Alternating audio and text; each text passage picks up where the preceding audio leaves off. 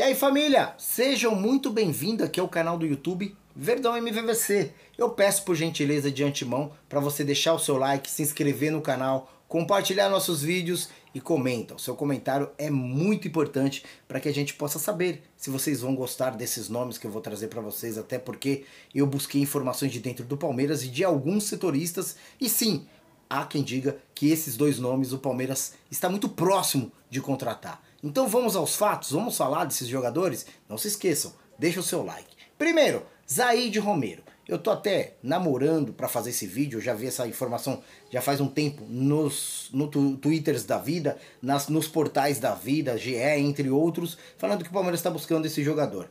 É, eu trouxe um vídeo aqui há, sei lá, um mês atrás, falando que as prioridades do Abel Ferreira eram um atacante, não sei se vai finalizar essa prioridade no Bruno Rodrigues, ou nós vamos trazer outro atacante.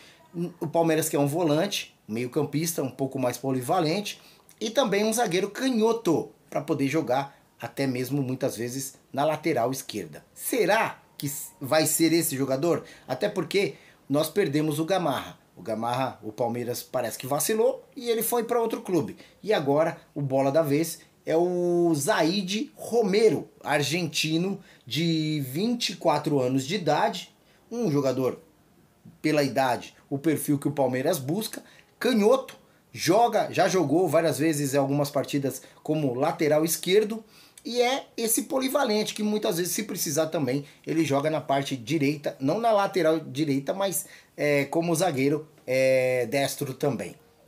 E eu acredito que seja um perfil que o Palmeiras está buscando. 1,50 milhões de euros. O contrato dele finaliza em 2026. Vários portais estão comentando sobre ele. Ele tem 1,93 de altura. Um zagueirão alto. Sabe sair jogando com a bola. É um, é uma, eu acredito que é um, é um jogador bem interessante para a posição aí, né, meu? É, precisamos de jogadores altos, assim, até mesmo é, na parte defensiva, né? Sempre. E ele tem essa apesar de ser muito alto, ele tem essa mobilidade, ele tem essa, é, essa forma de jogar um pouquinho mais solta, mais leve. Né? Então isso ajuda e agrada muito o Abel Ferreira. Pedido do Abel Ferreira, hein? Esse menino é um pedido do Abel Ferreira, segundo informações. O Palmeiras já buscou, está buscando no mercado contratações e agora ele quer o defensivo que o Abel Ferreira busca.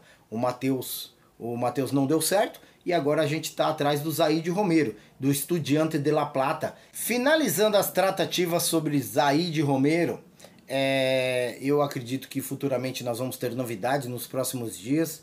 Talvez nem seja ele, como aconteceu com com Bruno é, Rodrigues. Nós imaginávamos que o Palmeiras ia atrás de outro jogador e de repente veio Bruno Rodrigues, que eu acho interessante, um jogador bem interessante para a posição. Muitos estão falando aí que não é o jogador que queriam, enfim. Mas eu acredito que o Palmeiras vai continuar nesses moldes de contratação, não vai fazer nenhuma loucura, até pelo fato de muita gente colocar o copo meio que, que tentar nivelar o copo com o Flamengo, com outros clubes que uma hora a conta vai chegar, né? É, e outra, não, a gente não pode levar como referência esses clubes que muitas vezes já contratou, contratou vários medalhões e não deu certo na, tendo em vista na década de 90 o próprio Flamengo, que contratou a torta e a direito vários jogadores extremamente interessantes e ficou apenas na briga entre eles lá.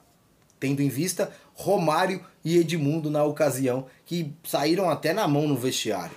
O Cruzeiro também já aconteceu muito semelhante. Quando se contrata muito e já tem um elenco com vários jogadores medalhões, a tendência é entrar em conflito. Ninguém vai querer ficar no banco de reserva.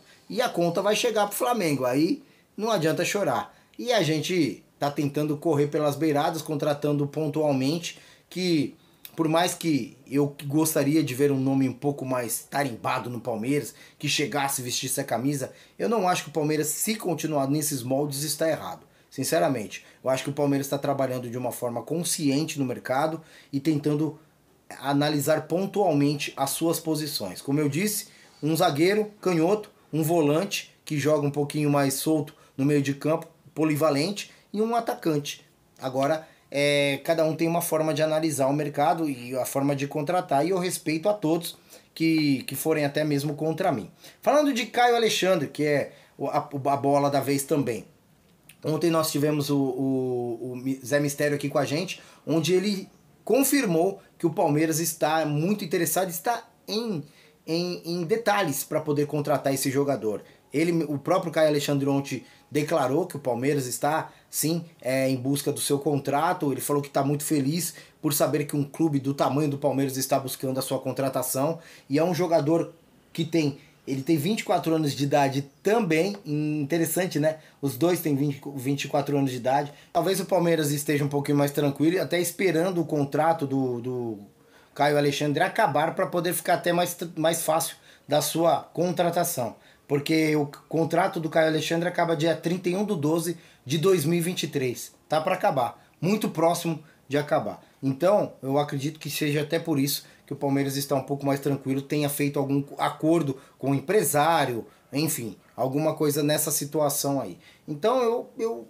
se fosse para eu poder apostar, eu acho que o Palmeiras vai contratar o Zaid Romero e eu acho sim que o Palmeiras vai contratar o Caio Alexandre, finalizando as suas contratações.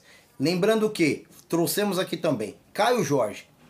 Chega até mim que é mentira. Palmeiras nem buscou esse jogador. Isso é tudo jogada de empresário para poder é, colocar o nome dele é, em colisão para poder tentar vendê-lo para outro clube ou até emprestá-lo para outro clube, até mesmo da própria Europa, ou se não der certo na Europa, voltar para o Brasil. Portanto, não se iludam. Caio Jorge não vem para o Palmeiras, até onde eu sei, nem sequer foi procurado.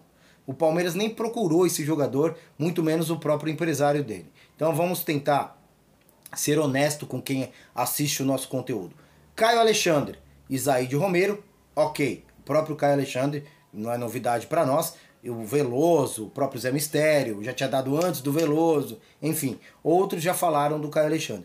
Zaid Romero trouxe, eu busquei pela manhã hoje é, informações antes de fazer esse vídeo, é verdade. Palmeiras quer esse jogador até onde eu sei. Então, vamos esperar cenas dos próximos capítulos. De antemão, mais uma vez eu peço o seu like, se inscreva no canal e compartilhe nossos vídeos. Tamo junto. Não se esqueçam, comenta também. É muito importante.